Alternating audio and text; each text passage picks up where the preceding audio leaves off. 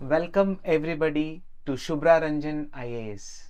As all of you know, science and tech plays a very crucial role in your civil services preparation. Either it is for prelims or mains, science and tech plays a huge role. So here right now we have with us faculty member Ritesh sir. Uh, he's the expert and he has got so many years of experience and he's the best in science and tech.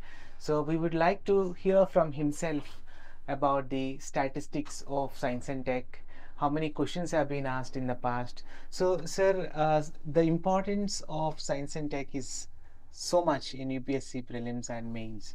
So, how many questions have come in the past, and in future, how many questions can come? Can you please tell? So, science and technology is there in prelims as well as in main examination. And as far as prelims examination is concerned, that every year invariably you will find 12 to 15 questions coming from science and technology part. So out of 100, if you get 12 to 15 questions coming from science and technology, it's a sizable area. Moreover, we are living in a scientific age, we are living in a digital age and importance of science and technology is increasing day by day. That is why this is also reflecting in UPSC prelims examination on for that matter any examination of India, you see that the percentage of question from science and technology is increasing, right? In main examination, it is in paper 3 and in paper 3, they ask around 2 to 3 question, sometimes 4 question from science and technology, right? But then there are some linkages of science and technology with some other area of the main examination. Let's say from uh, environment section, you will find few questions which are coming linked with science and technology in paper 3 itself then in paper 1 also you will find that geography is there and in geography some question can be linked with science and technology like uh, uh, GPS or let's say land information system or let's say satellite navigation system, remote sensing. So these area can be linked with science and technology. In paper 2 also there are certain section of polity where plans and policy and laws and bills and acts are there and there are certain acts and bills which are related to science and technology. Let's say surrogacy regulation regulation act uh, or let's say DNA technology regulation bill. So all these things will make up like science and technology and integration with the other part of the GS, right? So that is how it is going on right now. So science and tech is invariable and inevitable in almost all the subjects. Yes, yes, it's there. Its linkages are there with every subject. Every subject. Yeah. Sir, uh, what about students who do not have any background of science and technology? Say, for example, BA students or BCom students, they do not have much exposure to science. So they have only read till 10th class and they that too, it was long back. Mm-hmm. They forgot, they must have forgotten whatever they have learned. So how should they start? Okay, if that's a very valid question that if somebody is not from science background, then what should be the way out for them to get into science and technology. So first of all, you need to understand one thing that this is UPSC civil services examination. This is not an examination for scientist or DRDO or ISRO or BARC. So they are basically asking for you know general understanding of science and technology. And that general understanding of science would come up from NCERT books. So 6th to 10th NCERT book, anybody can go and revise it because everybody has done till 10th class and there are various courses available also for NCERT and the basic classes. I am sure that it's there on a Shubhra Ranjan IAS2 and there you can get this NCERT course and you can you know brush up the entire thing. Moreover, once you have done with the basic sciences, then leave it to us because once you are there in a classroom, then we'll take care of everything. Whenever we are going to discuss about any technology, then we also discuss the associated scientific concept of it. So first we clear the scientific concept, then we go with the technology. And it's all about having the general approach, the impact of science and technology on our life and different aspect of the different area and uh, economy, society and the other part of the country. That is what it is. So that's a very good idea that you gave, sir, because once they uh, brush up their NCERT books through yes. NCERT courses, which is already available in Shubhra Ranjan, probably they can catch up faster. Sir, and also I have seen uh, that a lot of questions came from your class notes. So how did you manage that and what sort of homework do you do to bring that to the students? No, that's basically that's my job. Uh, I have been teaching science and technology from last 17 years. So it's like it, it's in my daily life that I has to go with the daily news and all the current affairs which is going on. So it's a kind of you know it's not a, a kind of uh, effort that I have to put in. It's it's in my lifestyle now that everything which is important from science and technology part of I mean point of view that will come across. There are different, I mean, I read some magazines, some newspaper, there are some news channels that I follow uh, online and then we get all the things done in a digital way and then I deliver and into the classroom. Sir, how do you manage time with all this? Because you have to get updated yourself and you have a, such a busy routine taking classes and all. How do you manage time? Yes, I mean schedule is busy because every day at least six to eight hours in the I'm in the classroom only. But like I told you that we are living in a digital age. So this digital thing create uh, a, lots many good avenues where you can get all the things updated. You don't need pen and paper. Like obviously the student need pen and paper, but now as a teacher I don't. Uh, I mean always go with the pen and paper. So when I'm uh, traveling back to my home or coming from my home to uh, institute, so mm, mobile is there, tab is there. I keep on you know updating things digitally on that, and then once in a week I sit down and I write it onto the paper and that is how it goes on. So that is how it is. Sir, what sort of books would you suggest? Would you suggest any books for students? Uh, unfortunately, science and technology doesn't have any book. I mean, in the market, you will get only guides, not books. And I would always say, I mean, I'll always say to the student that you should not follow guide at the very first place. Guides are quick fix, right? guides are not something that will take you to the long way in this preparation. Rather, if you want to start with, go with the NCERT books, clear your basic reading, and then rely on to the newspaper and magazine for all new development in current technology which is going on. Unfortunately, there is no book, but yes, you can rely on to the class notes. So teacher is dictating and giving you class notes, and then you can rely on that. You can get it done. Sir, in your class there are so many students and you take so many batches. But then I heard that you will be taking one-on sessions, mentorship with students, one-on-one personal interaction with students. How do you do that, sir? That's again a part of this profession because once you teach in a classroom, then classroom is full of students. There are hundreds and 200, 300, 400, 500 students may be there, right? But then as a teacher, I'm always open to meet student after the class. So after every class, I stay back. I get back into the cabin. I stay there for 10 minutes, 20 minutes, 30 minutes, and I really wait for the student to come and ask question.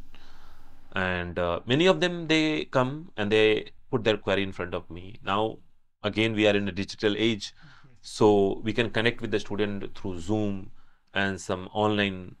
Students reach out to us uh, on my social media, sometime on a WhatsApp or Instagram and Facebook and if I find that query is worth you know replying, I do reply all of them. Right. Yeah. So you give that access to students to approach. Yes, yes. I mean, uh, it's already on a public platform, so it's everybody can get that. Yes, sir. And sir, uh, most students ask me, uh, or they, they have this doubt. Um, how much of statistics should they remember? because numbers are many and you know so many microns so many hertz the, the numbers are too many in science mm. so how would you suggest them my take is very simple. If you are preparing for UPSC examination digits are not important. Numbers numericals are not important. What is important is concept. Digits numericals and numbers are just a mean just a way to get to the concept. So dry facts you cannot memorize and remember it for a long time right? All you need to do that there are certain facts and these facts should not be pinpointedly memorized. It just, you know, vaguely you can have an idea and you can connect it with the concept. In one, I mean, one line, if you want to ask me whether these digits and data is important or not, then I would say it's not important. What is important is concept. And any digit and data that is linked with the concept, that will automatically be there with you. So don't go with the dry facts go with the concept that is important sir i have seen one of your videos where the video has gone viral your mock interview you were taking mock interview for one of the uh, successful candidate and it has gone viral all over. It was there in YouTube and Insta, Facebook. Yes. It is all over. So, do you also give personality training to students? Uh, I do participate in mock interview. Now, now nowadays social media is flooded with mock interview. So I do participate in mock interview. I have participated in past and present also. And in my view, people, student, they approach to me uh, for personality development. But I have another take on personality development. You know, personality get developed once you achieve the success. Like if the student clear prelims, the personality is 10 times more developed because you get the confidence. Once you clear main examination, your personality is again 10 times more developed because now you have gone more confidence. And by the time you reach to the interview, you are already developed. What we do, we do a little bit of fine tuning, little bit of practice. So we are mean by which you can practice upon us because we are sitting as a mock interview panelist and so that you can go and perform well into the real interview. So yes, I'm open for that. If anybody comes and asking for the mock interview tips and then uh, personality development tips, I'm open for that. I do I do help student in all the possible way that it could be. Whatever it takes. Yes, yes. So that's how it is going to be a goodie and freebie for all the students of Ritesh sir who are uh, with Shubhra Ranjan. Uh, and sir, what are your hobbies? Uh, my hobby. Yes. Okay. My hobbies, I like traveling and uh, I also like, you know, I'm into photography. Photography. So I do a little bit of wildlife photography and uh, travel photography. So whenever I get time, I just leave Delhi. I roam around. Do you get time, sir? Uh, yeah, I manage some time. I do need to manage it. So fortunately. So, yes, yes. So that is what my hobby is. Sir, in your class, there are so many students who are successful. Through your class, so many students passed out and they made it to the rank. So, are you in touch with the students and how do you feel about it when they attribute the success to you? Um, are they in touch with you, sir? Now, I have different take on this. I feel happy to be in touch with the student who are aspiring, who are going to, you know, appear appear the examination. I feel more happy with them, right?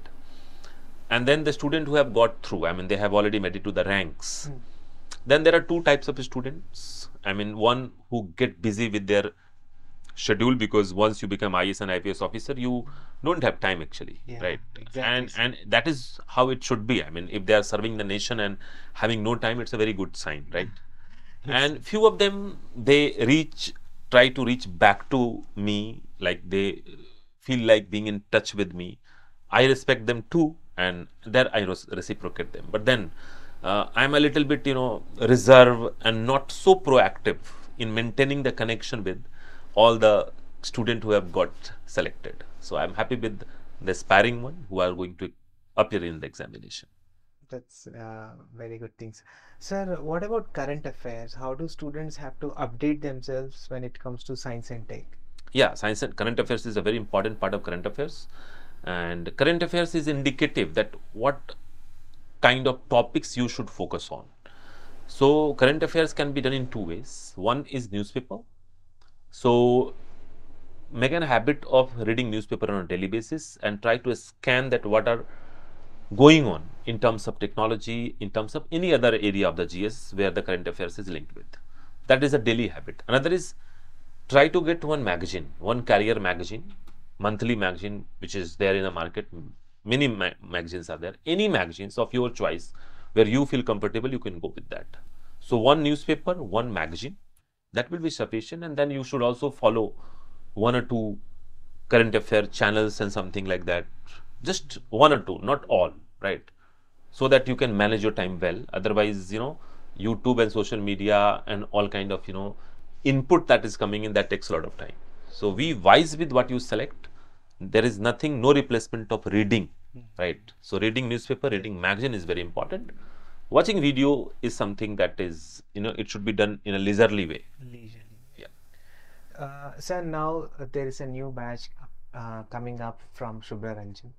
So April 2nd there is a batch and again later on there is there are going to be few new batches for general studies. So how do you welcome the students to Shubhra Ranjan IAS? I would just tell you that uh, at Shubhra Ranjan IAS, we have a very good team. dedicated for each and every area of the general studies.